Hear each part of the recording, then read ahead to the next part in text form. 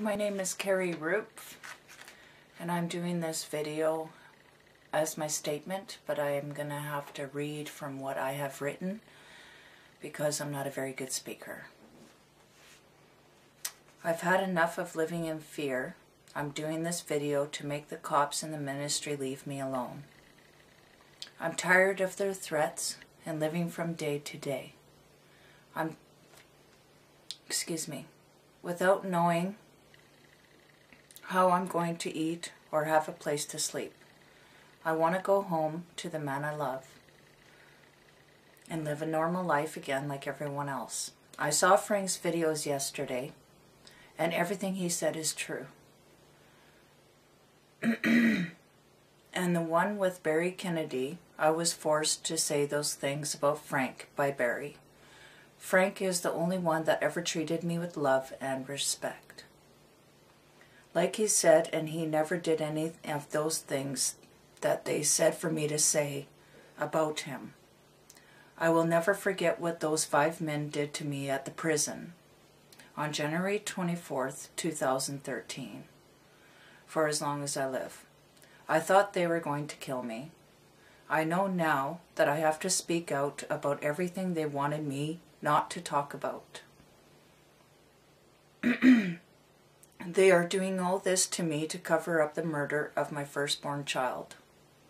They have tortured me for over 25 years of my life, and it stops today before they decide to kill me. I'm not very good at this, so the best way I know how to do this is the list of names of people that I have been that I have been tortured by. And excuse me. I've been tortured by these people, so I have written a list. I wrote most of everything on Frank's truck, but a lot has happened since they kidnapped my kids. Charles Elvin McKee is my father. He murdered my baby by holding his hand over the baby's mouth. Ken Aziz and James Turner. They sexually molested me starting when I was eight years old, and it stopped when I was 12. They were present when the murder took place. There was also one other man, but I cannot remember his name. Doug Newman, Barb Weber. I was the one who brought the cops to my house to arrest my father for the other crimes, but not the murder. I think they knew about the murder because they dug up the backyard and said that they were looking for guns.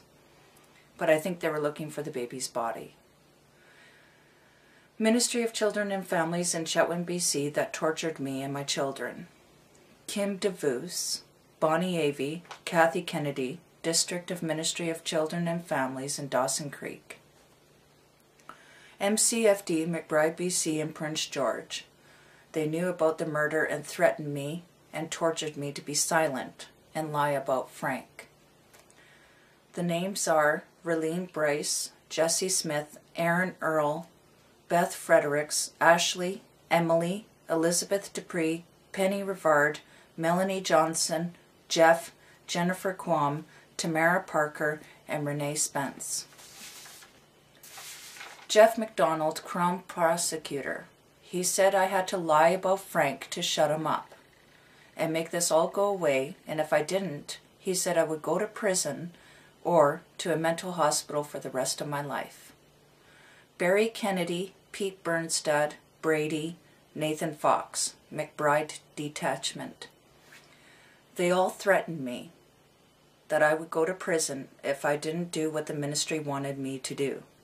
They also made me think that I was doing something good for our com community if I reported what people what people that they wanted me to associate with was doing criminally.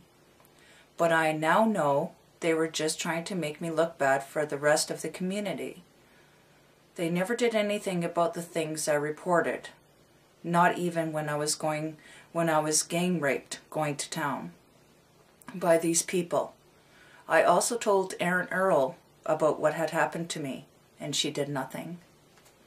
Simon Wagstaff, Michael Reed, Charles Hutchinsons.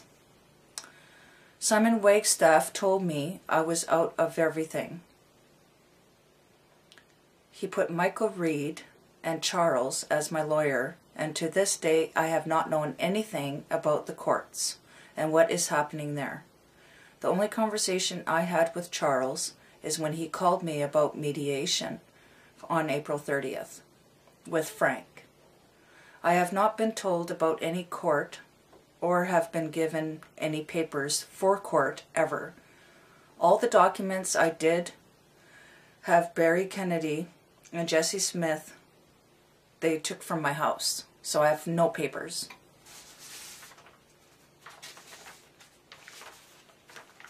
Thank you. Have a nice day.